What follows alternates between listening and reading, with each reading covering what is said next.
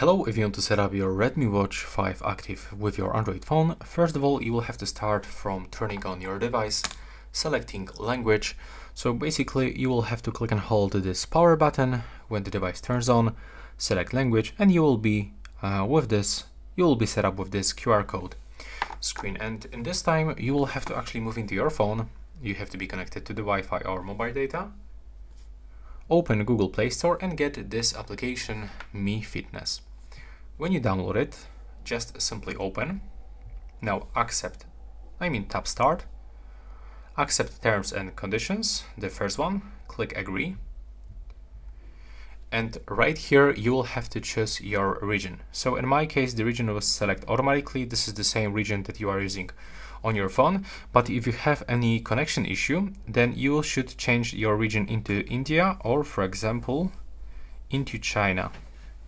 I'm not sure what is the reason, what is the issue with the application of uh, Xiaomi, but sometimes it really works to change region to China or uh, India.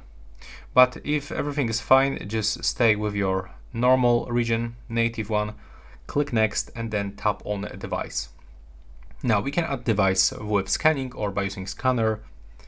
And in this time you have to also be sure that you turn on Bluetooth. So we can quickly turn it off for refresh and turn it on.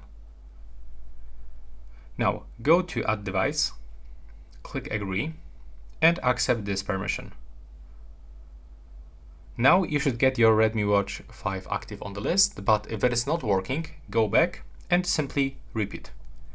Then uh, you can click on your device and as you can see right now we will have to uh, sign in for the Xiaomi account. So click click here. And you can sign in with your email, phone number, um, Xiaomi account you can also create account by going uh, right here, or you can also, let's go back, there we go, or you can also sign in with your phone number and with Google account. And that's what I'm gonna do. So click agree if you are using the same method and select your Google account that you will be using for your application. Now select Redmi Watch 5 Active, uh, 5 Active wait for this connection and the pairing. If you have any issue right here and uh, you cannot actually be connected, then simply go back and repeat the process. As you can see in my case, everything is fine. So I have to click pair on my phone and on my watch.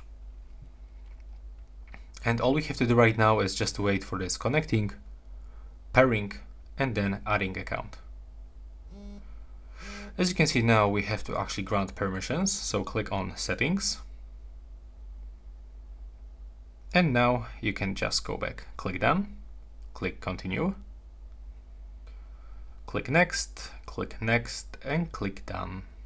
Now we can mirror phone notifications or you can set uh, the custom one, so that's your choice. In my case, I'm just gonna mirror phone notifications.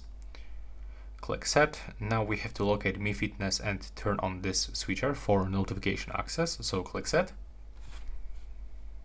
As you can see, it's right here under not allowed. Tap to allow notification access. Scroll down and click allow. Go back.